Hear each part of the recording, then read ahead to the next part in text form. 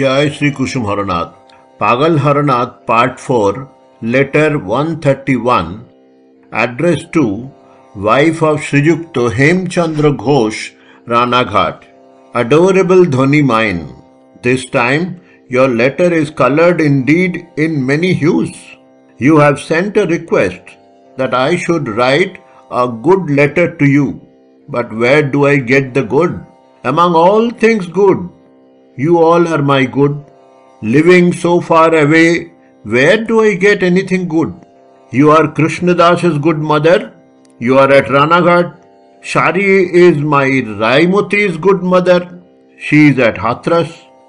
The one who is near me has no trace of good in her, or else her own offsprings would not call others as mother. Devaki no doubt carried in her womb, but to call as good mother, it is Jashoda. Devaki not being the good mother, immediately he was born, he went away to his good mother. There he did and showed all that is good. Returning from Mother Jashoda, when again he lived with Devaki, then all his actions were terrible not even one was sweet. Finally, from terrible to more terrible and reaching most terrible, it ended at Prabhas. Isn't it? He is good before one who is good, even when not having the will to be so. Many terrible things, such as slaying of Aghasur and Trinabartu, lifting Govardhan, etc., did happen even while he was with Mother Jashoda. Yet, due to the importance of the place, such terrible deeds appeared extremely sweet to everybody's eyes. So I say, Dhani, to write good, one has to go near good people. You all are the treasure of my heart. Whenever I think of you, I am reminded of Srimati's words.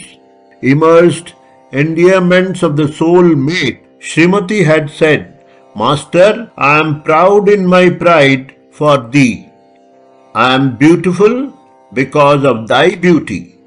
My condition too has reached that stage that at times, despite being a greatly despicable parasite, I feel proud is due only to my pride for you all. When in merciful Nityananda's supremely delightful garden, where beautiful flowers like you all have bewitchingly blossomed, I stroll. Then the grandeur of Indra's status too doesn't appeal. So tell me, why should not I be proud? That is why I say, Dhani, I pride due only to my pride for you all. My prayer now is, may you all become more charming each becoming a rare jewel, help Nityananda in his work of dispelling darkness. Like the stars encircle the moon, you all surround Nityananda and augment the splendor of the moon.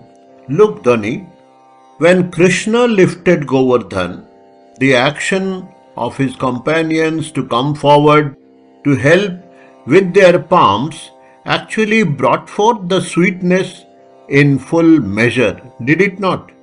Similarly, when you all go to my Nitai's aid, the sweetness of exactly that nature will flow, and Nitai will be very happy for that.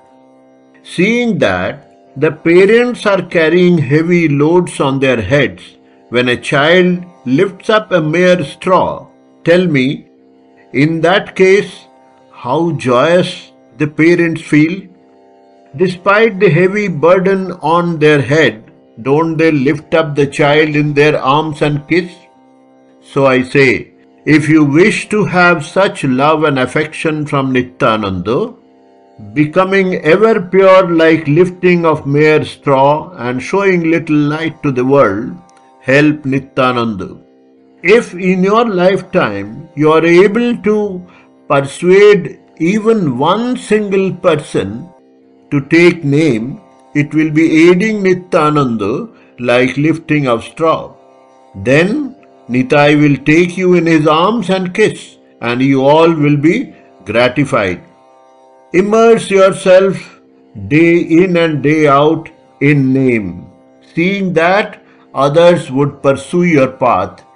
If you don't practice it yourself, even if you go weeping from door to door, nobody will take name. You should demonstrate by doing it yourself. Mere appeal will bring no result. Practice Dharma before you preach. This adage wouldn't have existed had the Lord been able to do it by the word of mouth.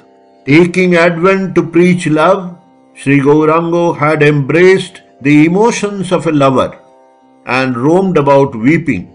That is why today the entire Gaur Mandal, nay, the whole world is in raptures over his name and love. So I say, you take name sitting in a dark room, you will see it will gradually spread out to all four corners of the world. See, living incognito in the remote Kendubillu village, Joydev had attracted and is still attracting the attention of the world.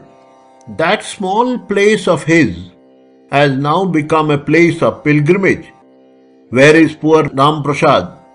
But his glory runs on everybody's lips. Where is Billu? But today his name has become hallowed. So I say, Dhani, repeat name day in and day out if you want others to take it. Never discard name. Consider it as the safest shelter in happiness or sorrow and remain immersed in it. Do not brood over what may or may not result from taking name. Look, Dhani, all actions in this world are mere play acting. However, do not assume that if you play well in this one play, you will be considered a master player. If you wish to become a master player, in a way it is impossible by just showing good acting. For when there are endless number of plays, then do not believe that you will be able to play equally well in all the plays. One who is at the root of all plays become his own person. By any means, endear yourself to him.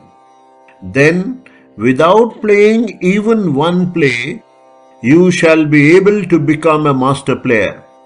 Then, knowing that Lord pays heed to you, great master players, even Brahma, Vishnu, Shiva too will listen to you, will love you, and always help you towards your good. You shall then be endeared of all. You shall not have to do any work, and you shall always remain near the Lord. So I say, do not consider this life's play as the first and the last play.